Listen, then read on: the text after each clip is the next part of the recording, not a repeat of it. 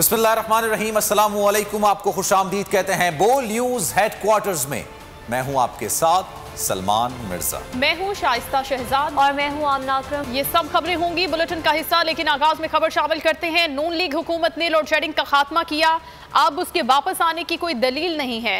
दस दस घंटे की लोड शेडिंग हो रही है। क्या ये है नया पाकिस्तान? ऑपोजिशन लीडर शहबाज शरीफ की हुकूमत पर बाद प्रेस कॉन्फ्रेंस में कहा इसमें कहा, गुजरा जमाना वापस नहीं आता। लेकिन इमरान खान पुराना दौर वापस ले आए। गुजश्ता तीन सालों में बदतरीन करप्शन हुई। कौम को बेदर्दी से लूटा गया। 2013 और 18 के दरमियान पाँच सालों में लोड शेडिंग का खात्मा हो गया था। लोड शेडिंग बदकिस्मती से दोबारा आ चुकी है। पुराने ज़माने को वापस ले आया है, जिसने पाकिस्तान के अंदर, यानी लाखों लोगों को बेरोज़गार कर दिया और मीशत को तबाह कर दिया। फिर ये नैब न्याजी का गठजोड़ कि जहाँ पर इन्होंने करप्शन की है। यहाँ पर हमने जान लड़ाकर सी एस आर एग्रीमेंट्स की इस कौम की, इस दुखी कौम की, के दुखों के मुदावे के लिए दीवार से लगाना और उनसे इंतकाम लेना बदतरीन किस्म का, ये कोई कौमी नहीं चौथा प्लांट बारह सौ तिरसठ मेगावाट का जो अभी तक बंद पड़ा नहीं चल सका, पैंतीस अरब रुपए का नुकसान हो चुका है। किस तरह इस कौम को इन तीन सालों में बेदर्दी से लूटा गया है?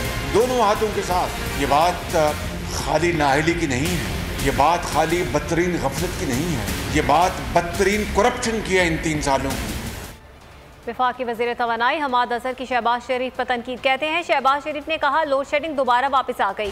गैर एलानिया लोड शेडिंग कहीं नहीं हो रही, लोड शेडिंग किसी खराबी की वजह से होती है। सिस्टम को बचाने के लिए ट्रिपिंग करना पड़ती है। शहबाज शरीफ को किस साइंसदान ने इम्पोर्टेड कोयले का प्लांट लगाने का मशवरा दिया था? सस्ते माहदे थे तो शहबाज शरीफ दौर में बारह सौ अरब का गर्दशी कर्जा क्यों बढ़ा? गैर एलानिया लोड शेडिंग जो है वो ख़त्म कर दी गई थी, लेकिन जो रेवेन्यू बेस्ड लोड शेडिंग है, जहाँ पे बिजली चोरी ज़्यादा होती है उन इलाकों में, या तरसील के निज़ाम की वजह से यहाँ कहीं पे ट्रिपिंग आ रही है, या ओवर हीटिंग हो रही है, जब हमने हुकूमत संभाली तो वो सिर्फ़ बीस हज़ार मेगावाट थी।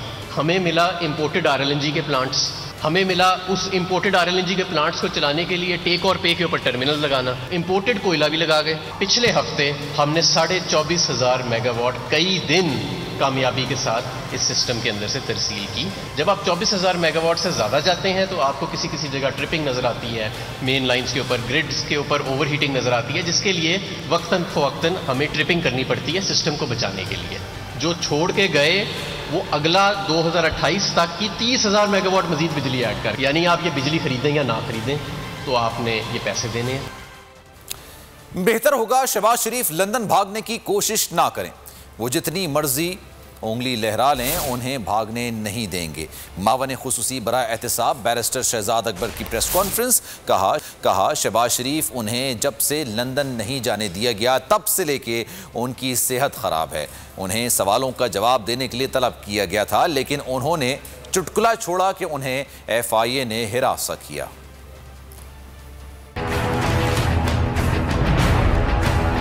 शहबाज शरीफ साहब बार बार जो ये दोहराते हैं कि मैंने एक रुपए की और एक ढेले की करप्शन नहीं की, उसके बजाय बड़े सीरियस एलिगेशन हैं, उसके जवाब दें, लंदन भागने की कोशिश ना करें, चाहे वो जितनी मर्ज़ी उंगली हला लें, हमने इनको इस मुल्क से बाहर नहीं जाने देना है। असल में जब से ये लंदन नहीं इनको जाने दिया गया, उस दिन से ये एक छुई हुई शरीफ बन चुके हैं। बात बात पर ये नाराज़ हो जाते हैं कि जी ये कोई पंद्रह सोलह सवाल हैं, आप बर मेहरबानी इन सवालों के जवाब असलतन या वकालतन, हमें तो आपसे कोई गर्ज नहीं है, आप इसका जवाब हमें दे दें। उसमें इनको अचानक ख्याल आया कि वो जो 22 जून को मैं गया था, मुझे उधर हरासा किया था। ये भी शहबाज शरीफ साहब का और शरीफ ख़ानदान का बड़ा पुराना एक तरीका वारदात है कि एक नैरेटिव बिल्ड करते हैं, जिससे इदारों के ऊपर असरअंदाज होने की कोशिश करते हैं। कभी जब बहुत डेस्परेट हो जाते हैं तो हमला भी कर देते हैं। ये होती हैं धमकियाँ, और ये तो इनको विरासत में मिली है इदारों को धमकाना। वीडियोज़ बना के जजों को ब्लैकमेल करते हैं। तो उसी सिलसिले में इन्होंने ये हरकत भी वहाँ पर की।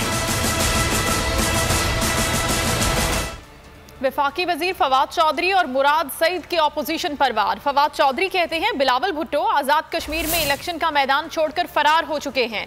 मरियम नवाज़ भी जल्द मैदान से भाग जाएँगी। सिंध और पंजाब को जो पैसा दिया गया, वो लंदन या दुबई से बरामद से बरामद हुआ। हमें तो पैनामा स्कैंडल की वजह से इनकी प्रॉपर्टियों का पता चला। बड़ी जल्दी इनके बेटों, नवासों और फुफियों की प्रॉपर्टियाँ भी सामने आएँगी। मुराद सईद ने आज़ाद कश्मीर में अब्बू बचाओ मुहिम जारी है।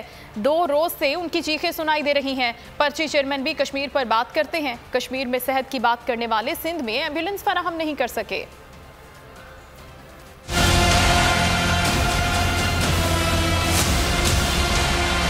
बिलावल भुट्टो इसीलिए वहाँ पे मैदान छोड़ के भाग गए कि उनको पता चला कि वहाँ पर उनके उम्मीदवार ही नहीं है। टोटल आठ हलकों में पीपल्स पार्टी के उम्मीदवार हैं। इस वक्त कश्मीर में पी भी इलेक्शन में एक धांधली का वावेला मचाना अभी से शुरू हो गई है और बड़ी जल्दी आप भी देखेंगे कि मरियम नवाज़ भी इलेक्शन कैंपेन से राह फरार इख्तियार करेंगी। जो पैसा पंजाब में लग दिया गया या जो पैसा सिंध में दिया गया, वो लंदन से बरामद हुआ, वो दुबई से बरामद हुआ और वो फ्रांस से बरामद हुआ।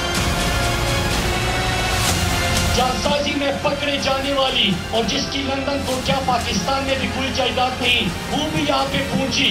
इमरान खान को तनकीद का निशाना बना रहे हैं। आप सदन जमदार को बगैर वीज़ा के, मरी बुला के सैर कराते थे वो दूसरा आया है, पर्ची लहरा के।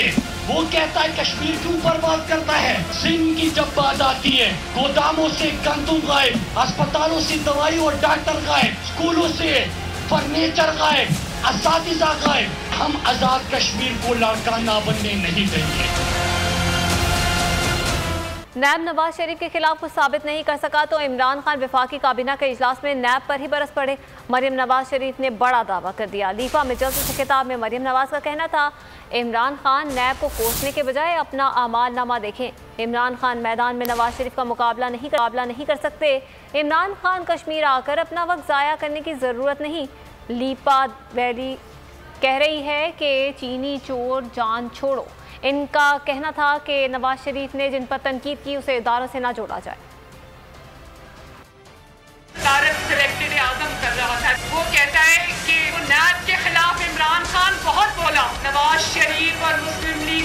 पर कोई इल्ज़ाम साबित करने में कामयाब नहीं हुई।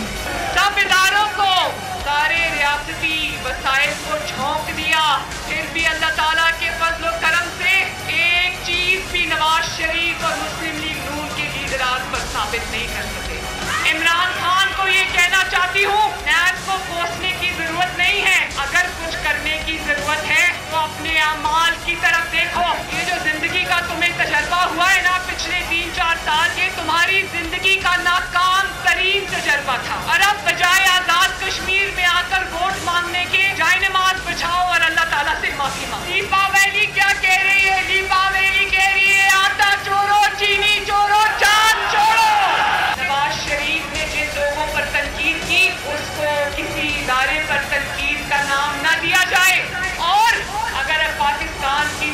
का रास्ता अपनाना है तो इदारों को भी नवाज़ शरीफ के बयानिए पर चलना होगा।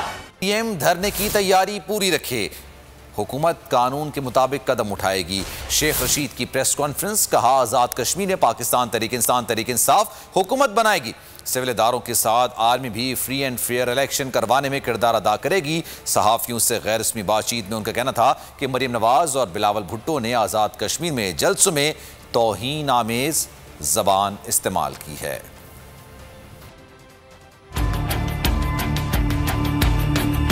मरियम नवाज़ और बिलावल ने अभी से शोर डालना शुरू कर दिया है। देखें, उन्होंने धरना देने की उनके अंदर, मरियम नवाज़ के अंदर एक ख्वाहिश तड़प रही है। धरने की वो तैयारी पूरी कर रखें हम आइन और कानून के तहत जो है, हर वो कदम उठाएँगे जिसकी कानून हमें इजाज़त देता है। आज़ाद कश्मीर में ये कायदीन बहुत अरसे के बाद जाते हैं तो उनका ख्याल होता है कि शायद उनकी बड़ी पजीराई है। कश्मीर में अल्लाह के हुक्म से पजीराई इमरान खान की है और पच्चीस तारीख को इमरान खान हुकूमत बनाने जा रहा है। कोई कोई फौज अंदर तैनात नहीं हो रही है। जब आप जीते हो तो उस पोलिंग एजेंट को तो बड़ी निकाल सकते हैं। हारे हुए हो तो उसको पोलिंग एजेंट को बाहर फौज ना खड़ी हो तो वो डब्बे उठा के ले जाए। और अगर आज़ाद कश्मीर इलेक्शन कमीशन ने आर्मी की भी दरखास्त की तो पोलिंग स्टेशनों के बाहर आर्मी से भी दरखास्त की जा सकती है कि वो मुल्की सलामती फेयर शफाफ और मुनसफाना इलेक्शन के लिए मदद करें।